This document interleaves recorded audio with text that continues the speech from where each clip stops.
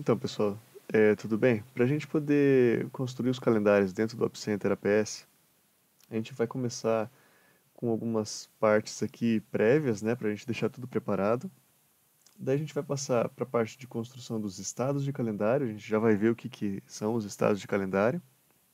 Aí a gente vai trabalhar com os nossos recursos primários, a gente vai construir para o recurso secundário, né, que são as nossas restrições, a gente vai fazer a atribuição dele e depois a gente tem algumas dicas né, sobre como que a gente consegue potencializar o uso do calendário dentro do, do dia a dia do uso do, do AppCenter APS. Tá?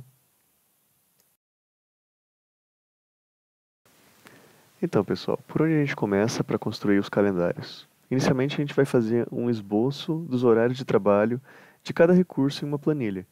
Isso porque, às vezes, alguns recursos é, trabalham em um turno, outros trabalham em dois turnos, às vezes eles têm horário de almoço que é em horário diferente. Então, é, a gente vai construir no Excel mesmo, né, uma, uma lista falando assim, olha, é, o início normalmente começa às zero horas, né, à meia-noite, e fala assim, olha, da meia-noite até às sete e meia da manhã, eu vou estar fora de turno, né, porque ele vai estar sem funcionar, por exemplo. E daí o pessoal chega na, na fábrica, das sete e meia ao meio-dia a gente tem o horário de turno, então a gente coloca ali como o próximo, a próxima etapa.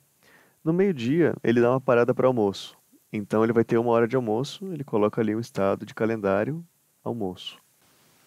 Um outro campo que é legal colocar também é o campo de duração, que é o tempo entre é, o início e o fim. Isso aí vai ser útil para a hora que a gente estiver construindo os calendários, tá?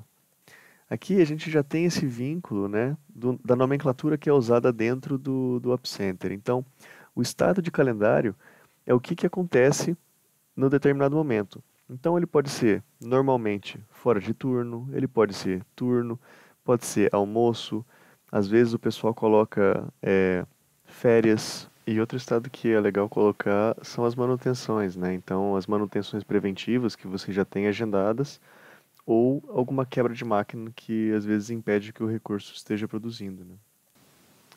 Certo. Então assim, agora que a gente já tem é, o início, né, a gente pode começar a construir os estados de calendário, que vão ser a base para os nossos calendários, é, para os recursos. Né. Então, para a gente começar a construir os estados de calendário, a gente vai ali em visualizar, calendários e estados de calendário. A gente vai ter algumas é, opções que já estão pré-configuradas, né? mas a gente pode adicionar alguns novos. Então, para a gente poder adicionar um novo, a gente vai dar um duplo clique ali na próxima linha, escrever o nome do estado que a gente quer, nesse caso um almoço. A gente pode escolher uma outra cor que, que a gente possa escolher para o calendário não ficar igual aos outros. Escolhe um tipo de preenchimento, né? E é, aqui na parte da eficiência e do fator de custo, né? Então, como é o almoço é um momento em que as pessoas estão no horário de trabalho, mas não estão é, efetivamente alocados na máquina, a gente tem eficiência zero e o fator de custo 100, tá bom? Aí agora para finalizar, a gente tem o estado novo criado e a gente precisa prestar atenção nesse asterisco que a gente tem aqui que ele diz que ele não está salvo. Então a gente só clica em salvar, o asterisco desaparece e está tudo pronto o estado de calendário novo.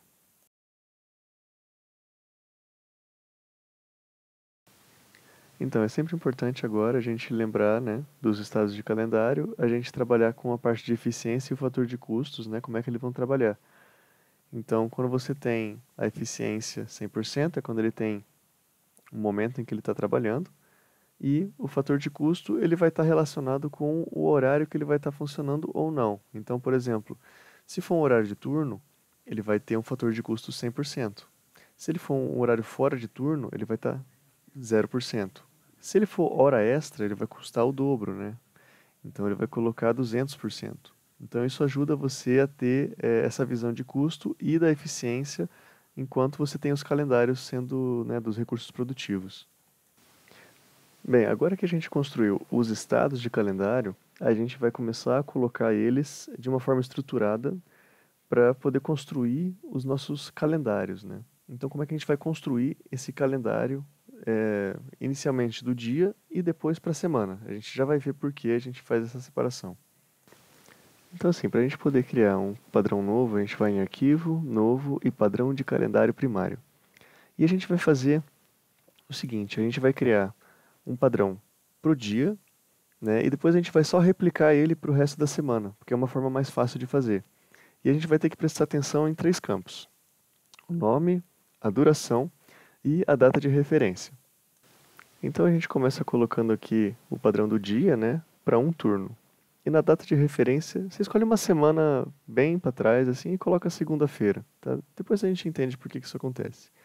Na duração a gente coloca um dia e a gente vai agora lembrar daquele calendário que a gente construiu para o dia, das máquinas que vão estar tá trabalhando e o horário que elas vão estar tá trabalhando.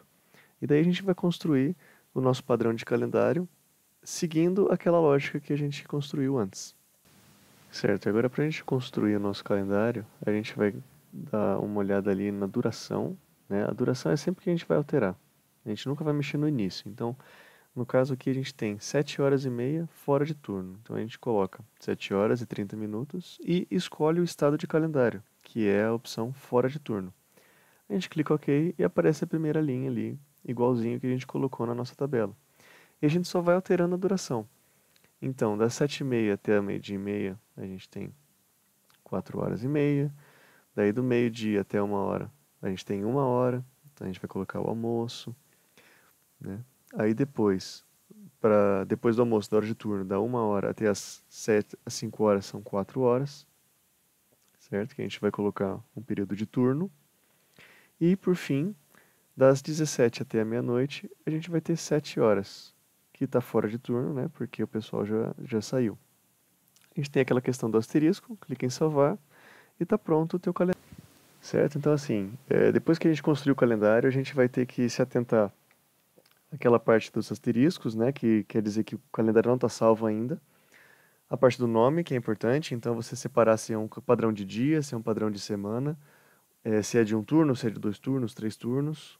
A data de referência é sempre importante você deixar numa segunda-feira, é, e a duração é relacionada ao tipo de padrão que você está é, que você tá construindo. Então, vai ser um dia, vai ser uma semana. Às vezes você quer construir um padrão de um mês ou de 15 dias, né? Porque às vezes você tem um padrão de trabalho um pouco diferente. Então, esses são os pontos que são importantes a gente lembrar quando estiver construindo.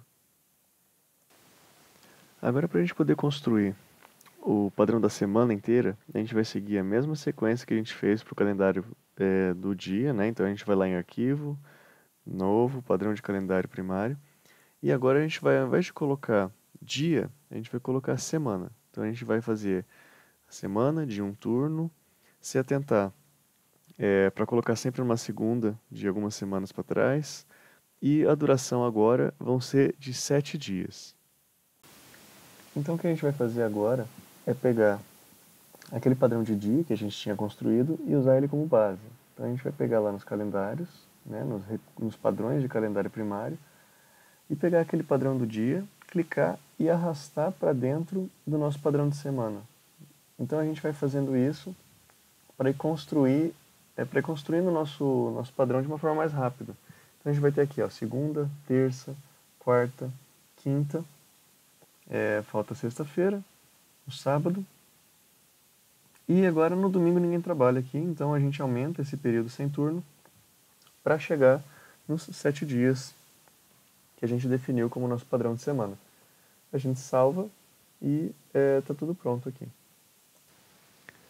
Certo, então assim, aqui a gente tem a atenção que a gente já tinha que ter para o calendário do dia, né, com relação aos asteriscos lá do nome, dos nomes, né, que você vai dar, da data de referência e da duração, que nesse caso vão ser sete dias.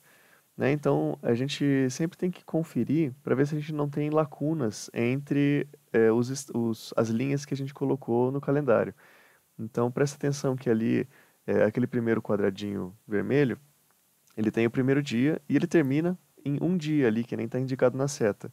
A mesma coisa acontece para o segundo dia, para o terceiro dia, porque daí evita da gente ter momentos em que a gente esqueceu de colocar alguma coisa, tá? Certo. Agora que a gente construiu o nosso calendário de semana, a gente vai fazer com que o recurso entenda que ele vai ter que trabalhar naquele padrão. Então, a gente vai atribuir um calendário que a gente, a gente construiu para um recurso produtivo, certo?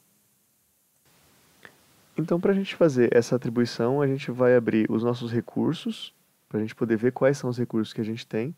A gente escolhe um recurso que a gente vai querer alterar o, o calendário, clica nessa barrinha cinza duas vezes e vai aparecer é, uma, uma caixinha de período de calendário. A gente vai fazer a seleção do padrão que a gente quer que ele siga e é, a gente vai escolher se a gente quer que outros recursos sigam esse mesmo padrão. Então a gente pode abrir ali e selecionar Ctrl A para fazer a seleção de todos e dar um espaço, que daí ele vai marcar tudo. Aí, com isso, é, você tem a seleção de todos que vão estar usando esse calendário e clica OK. É, então, assim, para resumir como é que a gente vai fazer isso, a gente vai ter a nossa lista de recursos ali na esquerda, vai selecionar qual recurso a gente quer, vai colocar ali na parte de, de padrão que está seguindo, né, aquela barrinha cinza, dá um duplo clique, vai abrir o período de calendário, você seleciona qual é, seleciona os recursos que vão estar envolvidos nisso e depois clica OK.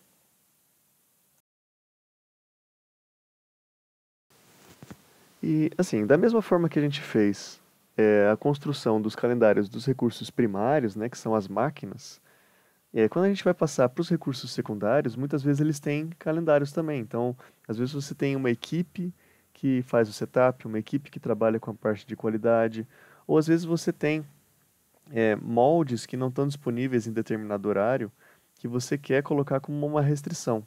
Tá? Então a gente vai seguir o mesmo procedimento que a gente fez para os calendários primários.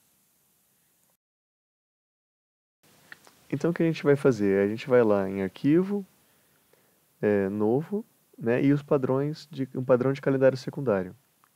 Aqui, como é um pouco diferente, a gente costuma fazer de uma vez só. Tá? Se, se for um calendário mais complexo, você pode fazer em dia e semana, mas você pode fazer de uma vez só. Então, você pode colocar como aqui um, um exemplo, né, uma equipe de qualidade. Você definiu a tua data de referência para uma segunda-feira. A duração aqui eu coloquei para a semana toda. E é, o que eu vou fazer vai ser um período de seis dias. Ele vai ter é, disponibilidade de 20 unidades, né, 20 pessoas disponíveis nessa, nessa equipe e o resto ele não vai ter disponibilidade. Certo? Então ele vai ter zero unidades de máximo e zero de mínimo, ou seja, nenhum disponível. Aí a gente lembra de salvar, né, para poder ficar gravado. Né, e assim a gente termina de fazer o nosso padrão de calendário para o recurso secundário. Né, aqui só fica aquele lembrete, né, que da mesma forma que a gente tem para os recursos primários, a gente tem para os recursos secundários, aqueles três campos que a gente tem que prestar atenção. Agora, nessa parte de atribuir os calendários para os recursos, é muito parecido né, com o que a gente fez antes. Então, a gente criou o modelo do calendário e a gente vai agora aplicar eles dentro da, da restrição. Tá? É, então agora, para a gente poder achar os nossos recursos secundários, a gente vai ali em visualizar, calendários, né, os recursos secundários, é, abrir uma nova aba ali, né, e a gente abre a nossa equipe de qualidade que a gente está trabalhando. Ela tem agora é, o que a gente chama de valores personalizados, ela não tem um calendário específico, tá? ela só está trabalhando com os valores para o tempo é, disponível. Mas como a gente vai aplicar um calendário nela, a gente vai chegar e clicar duas vezes ali naquela barrinha cinza, né? Escolher o padrão que a gente quer, que no caso é a equipe de qualidade. E como a gente só tem esse recurso que vai ter o calendário, a gente clica OK. Certo? Então ele já está aplicado. A gente pode conferir ali, olhando os nossos gráficos de restrição secundária. Né? A gente coloca para ver como é que ele está. E a gente vê que ele tem esses momentos. Né? Esses momentos de, de ter 20 pessoas disponíveis por seis dias e um dia com zero pessoas disponíveis, né? Então isso aí é, permite a gente olhar e validar que o calendário efetivamente está é, em vigor. Certo? Então assim, aqui de novo a gente tem aquele resumo de como fazer essa atribuição dos calendários secundários, né? Então você vai escolher qual recurso vai receber ele, Vai clicar naquela barra cinza para a gente poder abrir os padrões de calendário, seleciona qual padrão vai ser usado e escolhe quais recursos vão estar tá com esse calendário. E clica OK para atribuir. Certo. Então, assim, para a gente fechar essa parte dos calendários, é, tem algumas dicas de uso para facilitar o, né, tanto a construção quanto a atribuição para os recursos e é, potencializar um pouco essa, essa ferramenta, tá?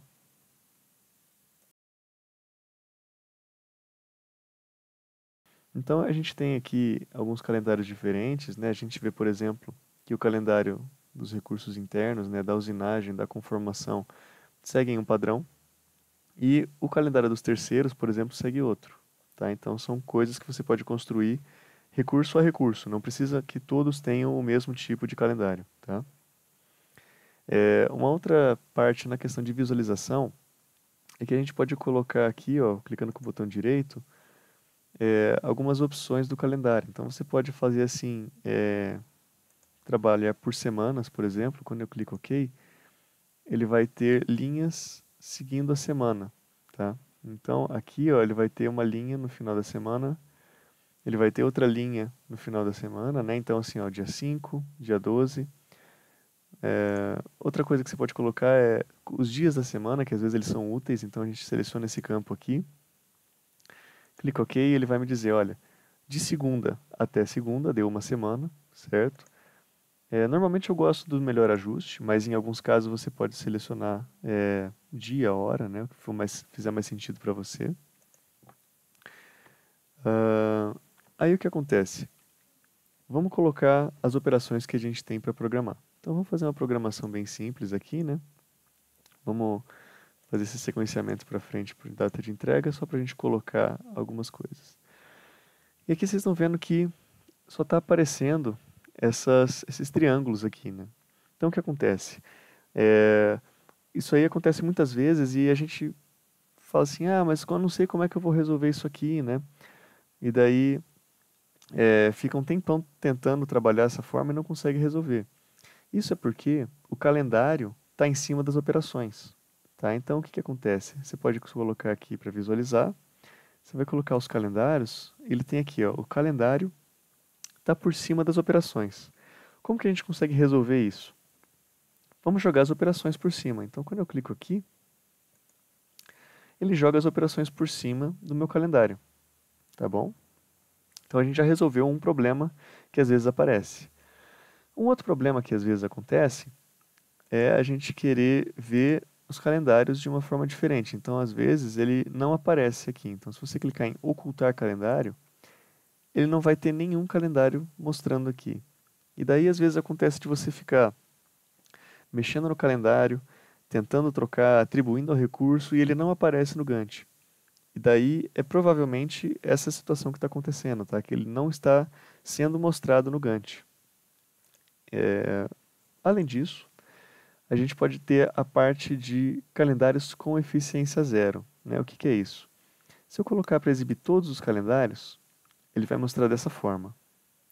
Se eu colocar para mostrar só os calendários com eficiência zero, né, ele vai tirar esses calendários daqui, ó,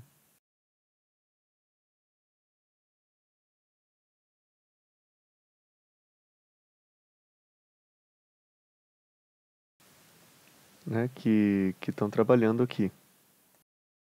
Se eu jogar os calendários por cima, ele vai me dizer, olha, as ordens de produção que estão aqui no Gantt, elas têm a seguinte situação. Ela começou a ser produzida nesse, nesse período aqui, no dia 23, 29 do 3, e daí esse período aqui é um período não produtivo, porque é um período de almoço do, do segundo turno, por exemplo mas ela continua sendo produzindo, sendo produzida. Só que ela não tem um processamento. Então ela já está na máquina, o pessoal saiu para o almoço e voltou para trabalhar. A mesma coisa acontece com essa outra ordem aqui. Então ela começou a ser produzida, né, teve o setup, começou a ser produzida e chega nesse momento, o pessoal sai. Então, às vezes, vale a pena você ter essa visualização. Tá? Então, são opções que você tem para trabalhar do calendário de forma que seja mais natural para você. Então, isso aqui a gente trabalhou com a parte de visualização do calendário.